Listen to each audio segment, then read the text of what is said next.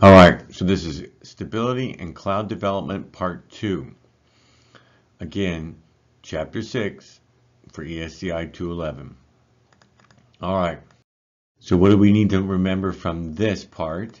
You need to remember what is a stable atmosphere, what is a neutral atmosphere, and what is an unstable atmosphere. So this is a stable atmosphere.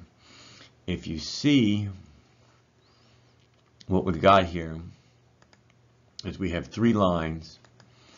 We have this blue line, which is the dry adiabatic rate. For every thousand meters, I decrease 10 degrees as I go up. All right. We have the moist adiabatic rate, which is this red line. For every uh, thousand meters you go up here, you decrease six degrees.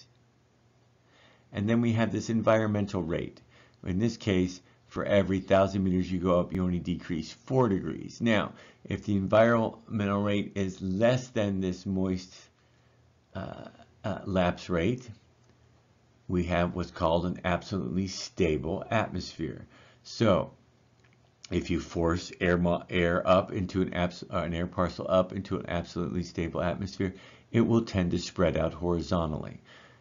So, if a cloud forms in this air, what do you think would happen to the cloud? Right, it would spread out.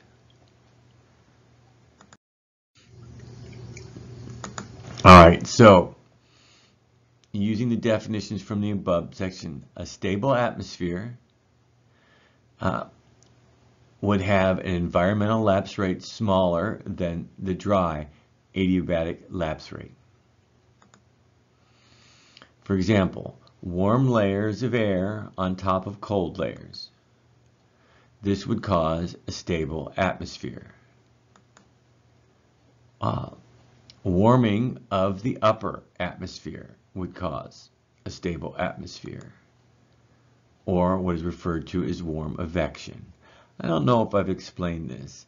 In meteorology, air that moves up or down is usually called convection.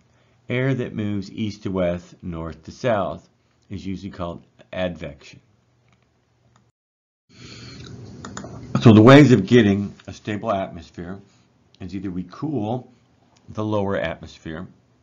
We can do this through radiational cooling of the surface or cold advection, bringing cold winds in to the lower parts of the surface, or moving the air over cold surface. Um, or we can have what's called a subsidence inversion. That is, is we have this layer of air that sinks and it's uh, warmed as compression by compression. The problem is the top of the layer is compressed more, so it warms more than the bottom layer of air, so the top layer of air is warmer than the bottom layer of air. Now, how do we do this? Well, here's an example. So here's our upper layer of air, right here, and then we're going to bring this down this way. Now, as you can see, the top layer is now warmer than the bottom layer. Okay, so I have cold air and warm air on top. And so we have a stable atmosphere. All right, what is a neutral atmosphere? That is when the lapse rate is equal to, the, the environmental lapse rate is equal to the dry adiabatic lapse rate. That's all it is. What is an unstable atmosphere? Well, an unstable atmosphere occurs when the environmental lapse rate, this black line right here, is greater than the dry adiabatic lapse rate.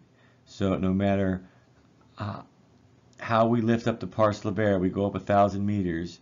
If you see this line right here is a thousand meters, doesn't matter what rate we use, if it's dry or if it's uh, moist, the temperatures of those is always greater than the temperature in the environment.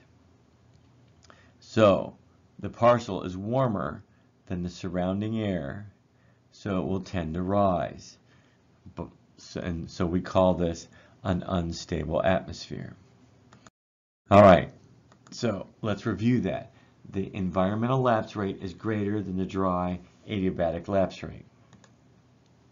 The atmosphere is said to be absolutely unstable if this condition exists.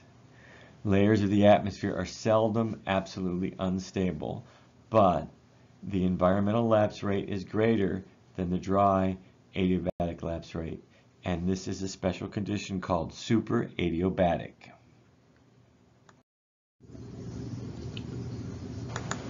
All right, some more unstable air. Now, if